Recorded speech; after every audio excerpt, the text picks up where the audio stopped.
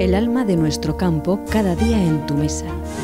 Campo y Alma patrocina Abriendo Campos.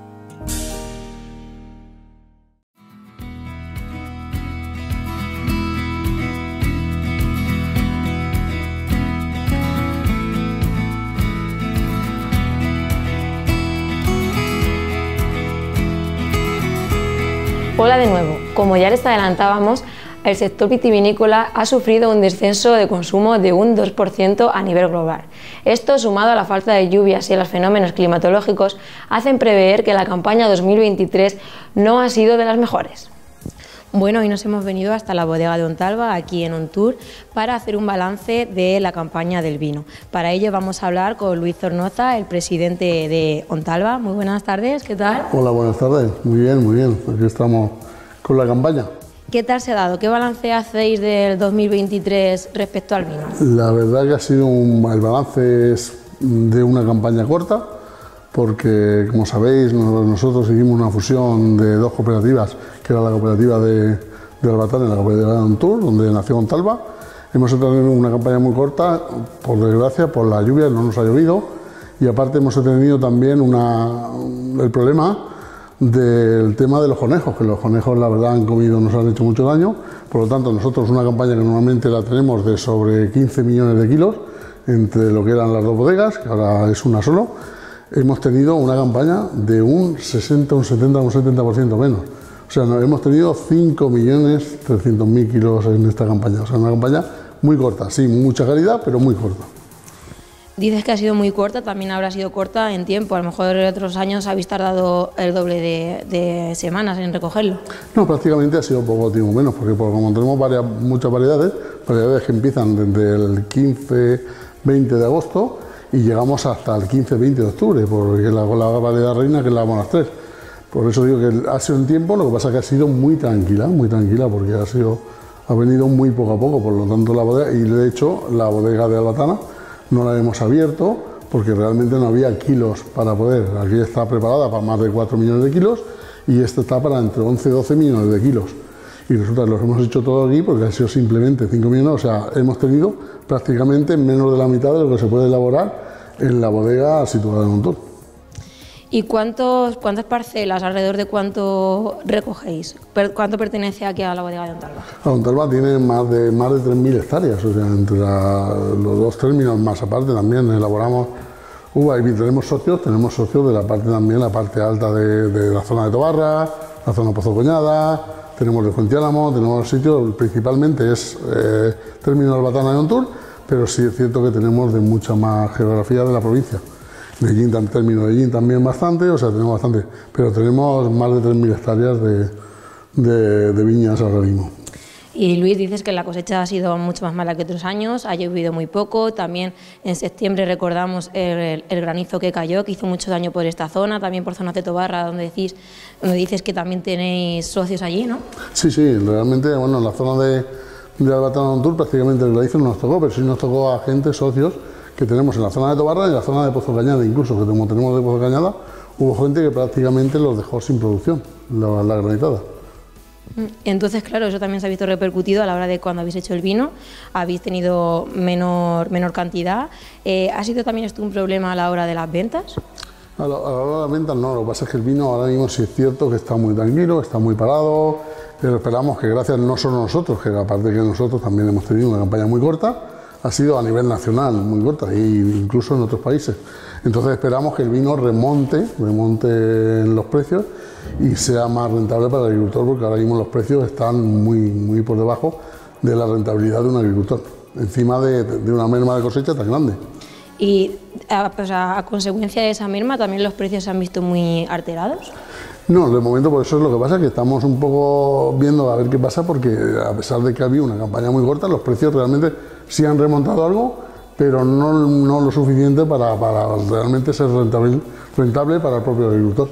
¿Y el agricultor cómo viene aquí? ¿Os muestra preocupación o después de esta campaña? Sí, claro, porque aparte que, aquí como somos una zona de muy poca productiva y encima no nos acompañan los precios, el agricultor está prácticamente arrancando mucho viñedo y nos estamos yendo al olivar, porque la rentabilidad y la mano de obra que lleva la viña no le da para mantener, para mantener esas plantaciones que no les es rentable. Llevamos muchos años sin que prácticamente sea rentable para el propio agricultor. Entonces, al arrancar ahora las viñas, la campaña del año que viene también puede que sea parecida a esta. Claro, encima que la sequía, eh, los conejos y encima y los, los, precios no remontan, pues el agricultor y cada día tenemos menos más los pueblos, se van despoblando y cada día tenemos menos mano de obra también, pues la gente va abandonando, va abandonando, van arrancando viñas y, y cambiando a otras plantaciones como puede ser olivos y almendros. ¿Y qué medidas se están tomando, se pueden tomar para que la gente, por ejemplo, no mantenga las viñas? Nosotros estamos porque creemos, creemos, bueno, yo pienso que, lo que hace falta, sobre todo el que, el que es agricultor, necesita no solamente eh, ir a tener viña o tener olivos, sino tener de todo para. Pero claro, ya es personal cada uno. Yo pienso que hay que tener, que se dedica a la agricultura, hay que tener un poco de varias cosas, no solamente jugársela a una sola carta, ¿no? Pero bueno, es ya cuestión de cada uno personal, tanto familiar como, como rentable, como lo, vea cada uno, cada agricultor. No podemos obligarle ni decirle a nadie lo que tiene, lo que tiene o no tiene que hacer. Y con el tema del agua, porque también estamos viendo la sequía, no llueve, eh, tema de riego, se están poniendo restricciones también, porque claro, eh, no llueve, los pantanos están prácticamente bueno, Ahí estamos, ahí tenemos, ahí tenemos también una cosa que nosotros estamos intentando, dando sobre todo los pueblos que, realmente, como he dicho antes, que los términos de, que más pilla, que es el término de Albatana y Tour, estamos reivindicando que tenemos algún riego, tenemos gran parte de secano, pero el riego que tenemos es deficitario y encima estamos teniendo problemas para poder regar cuando tenemos un riego que prácticamente no llega a mil metros cúbicos por hectárea. Eso que da, encima que tenemos tierra floja y no tenemos prácticamente para mantener. Y aún así estamos teniendo problemas de los términos estos de que realmente no nos dejan, no tenemos problemas para mantener eso, que es prácticamente un agua, que es lo que nos hace falta para mantener las plantas. O sea, nosotros queremos, por ejemplo, tenemos con la Confederación, que nosotros queremos, bueno, yo por lo menos pienso, que la Confederación, yo veo bien que en Murcia, en todos se puedan criar frutos porque tienen el clima y que tengan agua, lo veo muy bien, pero por lo menos que esta zona, que es una zona muy pobre, cada día tenemos más despoblación, que podamos tener agua para poder mantener nuestro pueblo y poder vivir de ello, de la agricultura. No queremos mucha agua, pero por lo menos mantener nuestra planta y mantener las producciones de las que vamos teniendo, que podamos vivir de ello. Y si la situación sigue así por nuestros próximos meses, ¿qué medidas tenéis pensadas hacer si el agua sigue siendo tan escasa? No sabemos lo que pasará porque los acuíferos de momento es lo que digo que nos están dando una zona, una zona que estamos sobreexplotados, nos dicen la zona de los acuíferos, sobre todo que aquí tenemos el acuífero de Albatana Conejero, John Tour, que nos están sobreexplotados. Yo conozco un poco también el tema del agua porque tengo trabajo que me dedico también un poco a ello y yo conozco los pozos que tenemos aquí, los, los vamos a tener y hasta hoy, hasta hoy, y los conozco ya más de 15 años. Los pozos prácticamente están el mismo nivel, entonces no sé por qué están diciendo que han bajado cuando yo los conozco realmente personalmente y los pozos, o sea que hasta hoy los pozos y el tema del agua que sacamos se mantiene y tenemos agua para poder lo que pasa es que nos anda sobreexplotado, cuando no entendemos cuándo los niveles estamos igual que hace 20 años, prácticamente igual que hace 20 años. No hemos nada variado entre un metro, dos metros de los niveles y según, la, según las fechas. Si llueve un poco, enseguida vuelven a subir. Pero andamos ahí menos de dos, tres metros de altura de, una, de un año a otro, no andamos más. Entonces se podría seguir sacando agua de esos acuíferos para mantener aquí las viñas, ¿no? Al día de hoy, repito, al día de hoy nosotros, yo conozco los pozos y los niveles no a nosotros en la zona no prácticamente nos han movido los niveles. También es un agua muy necesaria para regar estas viñas que comentábamos y también para un pueblo de Ontur, que es un pueblo muy agricultor y casi todo aquí el mundo tiene... Claro, sobre todo estos pueblos, Ontur y Albatana, necesitan, porque si no, sin esa agua, que prácticamente, que vuelvo a decir, no es un riego de mucha agua, es un riego de, de subsistencia.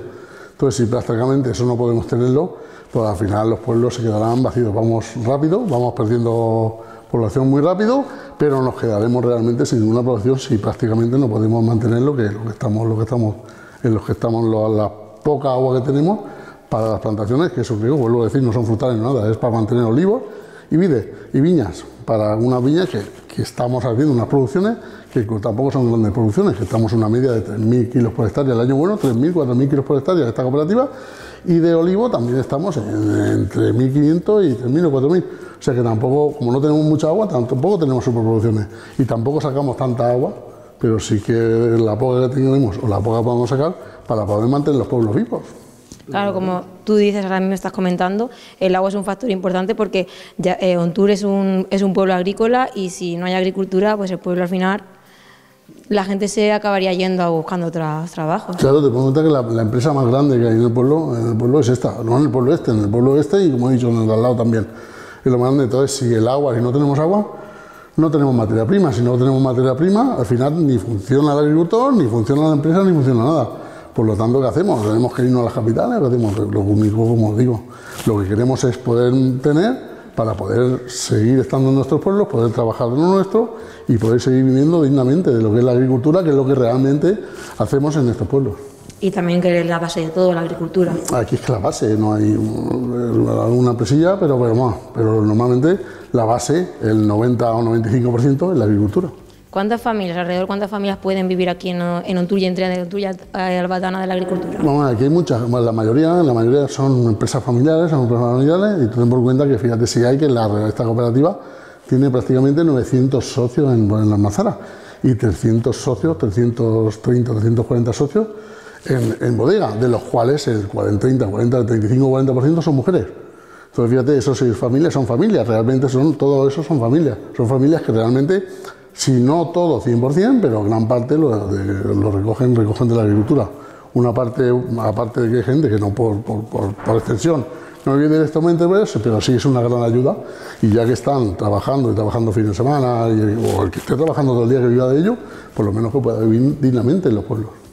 Efectivamente, o sea, ya no solo, solo las eh, familias que se dedican a esto, sino las familias que también indirectamente tienen un beneficio de la agricultura. Sí, pero no solo eso, no solo es que es que no solamente ellos, ¿no? sino que la, eh, la carnicería, la peluquería, yo tengo una empresa también que me dedico alrededor de la vivo, si la agricultura funciona yo funciono, si no no funciona y cualquier otro medio, cualquier todo se mueve alrededor de la agricultura. Si la agricultura se mueve, yo creo que todos cabemos alrededor, vamos detrás de ella.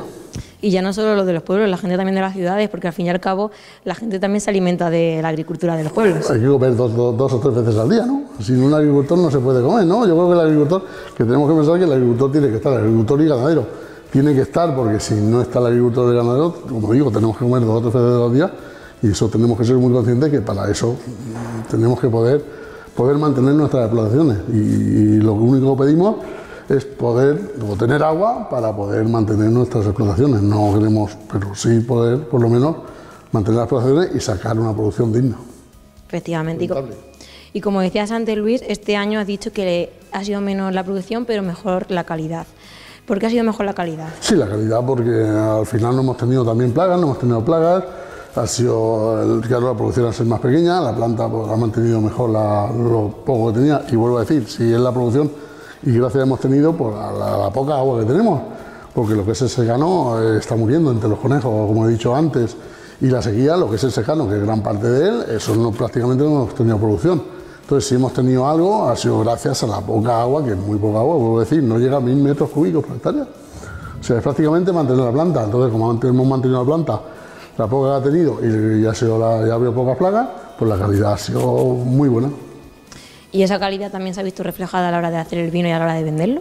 Sí, claro, bueno, venderlo estamos en ello, estamos en proceso, ¿no? Tenemos menos, entonces tenemos que ver los clientes que tenemos para botella, para botella, eh, digamos botella, y ver después, pero estamos en el proceso todavía, o sea, no hemos llegado a vender, aparte también, como he dicho antes, porque los precios están todavía, pensamos que los precios, y creemos por la baja producción y por la calidad que tenemos, que los precios deben de remontar y se debe de vender algo mejor, bastante mejor de lo que, de lo que ahora mismo, hasta ahora, ahora mismo están los precios subirlos un poco más ¿no? para que tenga la rentabilidad que comentas. Claro, intentar sacar la máxima, estamos para sacar la máxima rentabilidad para el agricultor. Y Luis, ¿todo este vino dónde va? ¿De dónde, de dónde son vuestros clientes? Nosotros tenemos clientes prácticamente en todo el mundo, o sea, nosotros hemos vendido, vendemos en Brasil, vendemos en México, Estados Unidos, China, eh, Europa, o sea, y luego sin olvidar el mercado nacional siempre, ¿no? Pero prácticamente tenemos un poco por todo por toda la geografía. Sí, que no solo se queda aquí en nuestro sitio, en nuestra comarca, que también va, como tú dices, a otros países. Nosotros vamos a otros, tanto nacional como a, otros países de prácticamente todo el mundo. Estamos abiertos e intentamos estar allá en todos los sitios que, no, que podamos estar. Bueno, Luis, pues muchísimas gracias y esperamos que la campaña del año que viene sea mejor y que tengáis muchísimas ventas. Nada, todo por, ser, por agricultores, muchas gracias a vosotros. Llegamos al fin del programa de esta semana. Esperamos que les haya gustado. Gracias por acompañarnos un día más en Televisión Ellín. Que tengan una feliz semana. Nos vemos el próximo jueves.